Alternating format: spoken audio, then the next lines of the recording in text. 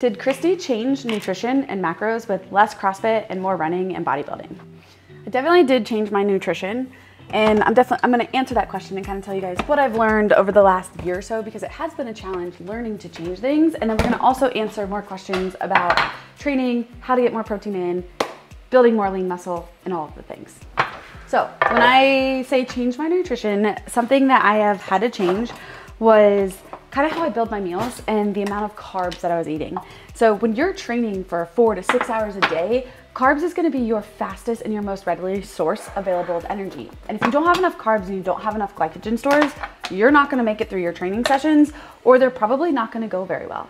So I've changed my meals to where I'm focusing a lot on my lean source of protein and then building my carbs around it. I put my carbs, I still eat carbs, I still exercise a lot, I bodybuild, I run, I still CrossFit. I just only CrossFit. And my CrossFit looks a lot different now than when I was training for the games because the volume and the intensity is different. For today, I am gonna have white rice, and so I still do incorporate things with white rice, but I'm just gonna do a little bit less. I used to just fill my bowl all the way up to the top with white rice, but instead I'm gonna also do a little bit of white rice. I'm gonna make my own homemade chipotle bowl, and then I'm gonna have an apple.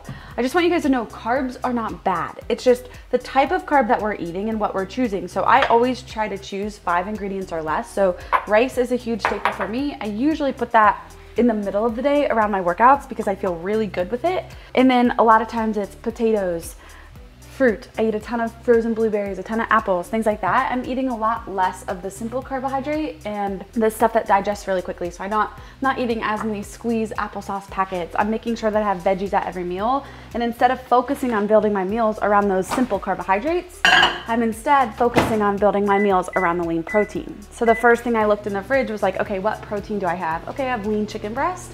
I'm gonna use that as my protein and now I'm gonna build my meal with a little bit of rice apple, which has some really great fiber, and then I'm gonna put some broccoli on there with some homemade salsa and hot sauce, and it's gonna be delicious. All right, so my lunch today is gonna be similar to what I would recommend most people in the gym eat. So I have a little bit of white rice mixed with grilled chicken. I have a little bit of hot sauce, doesn't have sugar added, with a mango peach habanero salsa, I think is what it is, a little bit avocado, and then some broccoli, as well as an apple. So I have my carbohydrate, which would be the rice, the apple, and the broccoli. I have my protein, which is the chicken, and I have my fat, which is the avocado. So this is typically how I'd recommend most people to eat. You wanna balance your meal. When I was training for the games and when I was training for all of the volume that I was doing, my meals were not very balanced. I would say my plate was like 50 to 60% of a simple carbohydrate. So I'm filling up with as much rice as I can have, oatmeal, whatever I could find. And then from there, I'm putting in the protein to make sure that I am recovering. Where now I'm kind of flipping those. I'm focusing on building my meal around protein and then making sure I have a really balanced meal and I'm eating fats throughout the day and good sources of healthy fat. And I'd say the biggest overall thing that has changed is focusing on quality of food. So before I was just trying to get calories, I needed as many calories as possible. And now I can just focus on simple, clean, whole meals that maybe aren't as calorically dense, but help me feel better throughout the day.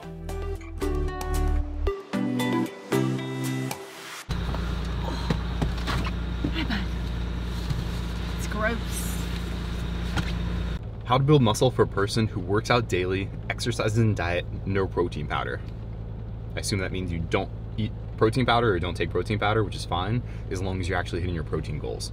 Today's video is sponsored by Element, and we're doing a giveaway. A widespread but false belief is that cold weather reduces our hydration needs. You may feel less thirsty, but don't be fooled. This doesn't mean that you're hydrated. You're still losing fluids and electrolytes that need to be replaced. Healthy hydration isn't just about drinking water, it's about water and electrolytes. The Element Chocolate Medley is my favorite winter hydration hack, and it's a cozy addition to my morning routine. This tasty trio of flavors includes chocolate mint, chocolate chai, and chocolate raspberry and is designed to be enjoyed hot or swirled into your favorite recipes. To help heat up and hydrate your winter, I've partnered with Element to gift one lucky winner. One Element branded electric kettle and one Element chocolate medley 30 count. To enter, put your most creative Element recipe in the comments below, follow Drink Element on Instagram, and make sure you're a subscriber of this channel. If you do those three things, you'll be entered to win this electric kettle and the chocolate medley 30 count from Element. Along with this giveaway, Element is offering my subscribers, that's you all, a free sample packet with any order. That's eight single serving packets so you can try all of the flavors or share with a salty friend. To receive your sample packet, this deal is only good through my link, so make sure you guys click the link below, and that's D-R-I-N-K-L-M-N-T.com forward slash Kristi Eramo. DrinkLMNT.com forward slash Kristi Eramo. Now, back to today's video. So I think this question is really just kind of addressing basically hitting a plateau. So it's like you've worked out for long enough, whether it's a year, a couple years, and you're not seeing progress anymore. Maybe you worked out for longer than that. And there's really three pillars that kind of move the needle for people. And that's consistency, that's effort, and it's the training plan that you're using, and if that training plan matches your goals. So by consistency, that kind of covers or encompasses both diet and working out.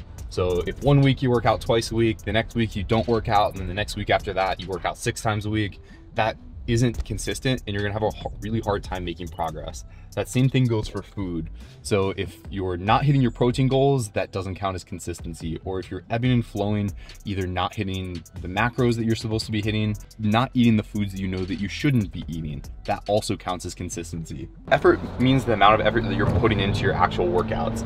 So that means the workout as a whole, and that also means individual sets and reps. If you're going to the gym and you're leaving, you're like, ah, I feel like I probably could go back and do that exact same thing again. That means you're not putting enough effort in to stimulate any sort of change. That same thing applies on a smaller level for individual sets. So whether you're doing curls or back squats, if you finished a set and you're like, I probably had like six or seven more reps that I could have done, you don't have enough intensity or effort put into that set to stimulate any sort of change. So it's great that you have a habit, it's great that you work out, but if you're not pushing yourself to stimulate change, nothing's gonna happen. And then lastly, kind of the third tier is gonna be like, are you following a training plan that's actually geared or matching your goals? So is your goal either strength, progressing in strength, or is your goal maybe gaining muscle? Because those two things don't always exactly align. If you wanna have your back squat, deadlift, and press, you should probably be working in the lower rep ranges and higher percentages. If your goal is to be uh, gaining more actual muscle, maybe strength isn't as much of a priority, you need to be hitting higher rep ranges at maybe a little bit lower weights for higher volume. So again, those strength ranges, maybe somewhere between, most people kind of the sweet spots between like 15 and 20 sets per week of any individual muscle group if you're looking for strength. If you're looking for hypertrophy, more muscle definition, and just building more muscle, that can be 20 plus reps, maybe even 30 sets per week. So following something that's actually matching your goals, paired with the intensity and the consistency, is how you move the needle. And sometimes you just need to, to make a, a change in what you're doing as well. Uh, that can help move the needle on intensity or the effort that you're putting in just by having like a new mental stimulus. Uh, so personally, with almost everything that we do, we run either four or six week blocks. So we'll work through progressions for four to six weeks, then we'll change movements, we'll change rep ranges, and then we'll start a new progression for another four to six weeks. It keeps things fresh, it keeps things interesting, and it normally makes it a little bit easier to keep the effort level a little bit higher.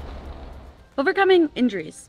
That is what the question was. It's a little bit vague, but I can definitely infer and understand what somebody's asking. Probably how do you overcome injuries or how do you deal with that mentally is definitely my guess what this question is. And I've definitely had my fair share of injuries. I think two things that I've learned are the most important thing. First, if you experience an injury, stick with your routine the best that you can. Do what you can do. It's the worst thing is getting out of your routine, feeling like you're just kind of a little bit lost because you were so focused and you had such a routine and now you're injured and you can't do that anymore.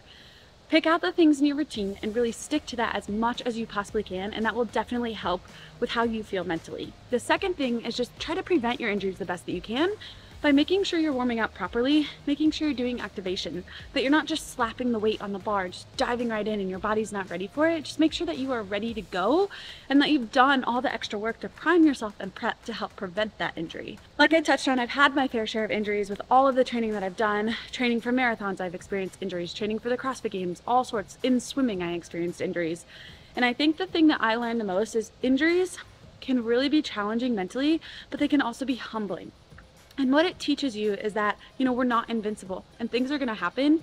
But what you can do is get to the bottom or the cause of what that injury is. So maybe working with a third party, rest, give your body a little bit of rest. I always find when things tweak or nag, it's your body asking for a little bit of rest and then be patient.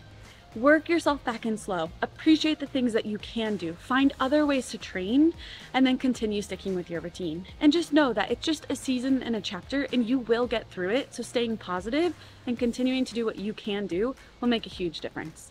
How should someone start working on getting back in shape after regaining weight? So I'm gonna touch on the same three pillars that I did on our way over here. The order of importance is just gonna be a little bit different. Three pillars are gonna be consistency, effort, and then the training program that matches your goals. As far as getting back into shape, especially after regaining some weight, the program or what you're doing matters the absolute least. The thing that matters the most is gonna be consistency and rebuilding some momentum. Uh, we tell everybody when they come into the actual gym that our goal is long-term health and fitness, and we wanna avoid the highs and lows as much as possible. So if we've come off of maybe a big stint of not working out or not eating well, um, or a combination of the two, consistency is gonna be the biggest thing that you can do. So baby steps back in to where it's manageable, you don't get over sore, and it doesn't become overwhelming a lot of times people either come in or they come back in and they want to do a whole lot at once. They want to get their food back on track. They want to start doing really hard workouts. Um, and we always kind of urge people against that. Start with really light weights. The weights don't need to be hard. The effort doesn't even need to be that challenging. The thing that is going to move the needle the most is consistency over a long period of time is going to equal results and you can build on the consistency. But if we do too many things at once, it's gonna be really hard to maintain all of them. And more often than not, we see that kind of cause the ebbs and flows of consistency and effort and kind of getting on and off the wagon more than almost anything else. hey, don't escape me. Smile for the camera. what do you think, buddy? We got the best gym dog in the world, if you ask me. Next question. I'd be interested on your take of training when under the weather, especially for a seasonal cold. So really, it's hard. When you feel like, oh, I think I'm getting sick, but you also are like, oh, am I being a baby right now? I've experienced that a lot. My big kind of determining factor is where do you feel sick? If it's above your shoulders, just kind of like a little head cold, I usually go to the gym, sauna, try to sweat it out, feel a little bit better because I'm used to moving and that helps me. If it's below my shoulders and it's in my chest or I have a cough or I'm not sleeping at night, I usually take full rest days. So above shoulder, kind of move lightly, think 60, 70% effort, try to make you feel better just with the movement movement below the shoulders, give yourself a couple rest days, let yourself recover, and then you will be better in the future by allowing your body to rest. Does Kristi still add Olympic weightlifting into her strength training? So I'm gonna give my hot take on weightlifting. Uh, I really like weightlifting. I love the snatch. I love the clean. Kristi and I both still do weightlift, but kind of my hot take on that. It's a little bit of um, kind of what your priorities are. So if you really like weightlifting, it like that's awesome. Uh, if you really want to compete in CrossFit, it's a part of CrossFit. But if your goal is to move the needle on either your overall strength or your fitness and you only have an hour day to work out, weightlifting is going to move the needle the least. So as much as I enjoy it, I don't consider weightlifting strength training. All the things that tend to make you better at weightlifting, the squatting, the deadlifting, all the accessory work, that would be strength training. But weightlifting itself, I think, is more of a skill. And unless you have just a lot of time to be able to work out and you want or get to add that in, um, which is totally fine. If you don't, and again, you have that like hour a day to work out, I think it's probably the least productive things you could be doing in the gym to move the, either your strength forward or any sort of muscle building forward. Run training. Not exactly a question, but I'll definitely touch on this because I've learned a lot over the years. Running, kind of like Patrick was saying with Olympic weightlifting, running is something that you can do anywhere at any time, and it's going to be excellent for your cardiovascular system and cardiovascular health. The cool thing is you don't need any equipment, and you can do some walk running. You just got to get outside and get moving. Milo and I went for a run this morning, which was kind of fun. But what I've learned in run training is you don't always need to be doing a run workout. And this is something that took me a while to understand. And once I did, I actually started getting faster. My aerobic base started getting better and I was staying healthier longer. What I mean by a workout, intervals, threshold running, like we don't have to be in that zone four to zone five every single day, but instead what we can do to become a more efficient, more faster, or more efficient and faster runner is run easy. When I say easy, conversational pace. These runs, even though you may feel like, oh, I'm not really achieving anything, are super critical for your aerobic base to help your body become a more efficient runner. So don't just go out and hammer the track, hammer the workout constantly. Incorporate these easy runs with your furry friend, which is what I do with Milo, with a friend, where you guys can hold a conversation. So you're also getting some really great time with a friend while you're also exercising. So run training, you can look at it many different ways, but it's something that we should all be adding into our training for cardiovascular health. I hope you guys have enjoyed this video. These are really fun questions to answer. We tried to answer quite a few of them that seem to be reoccurring throughout the questions. So if you have any questions for us, if you want us to answer anything in a future video, or if you just have a full topic you want us to cover, we would love to do that. Make sure you guys drop that below in the comments. Have a great day. Don't forget, smash the like button, and we will see you in the next video.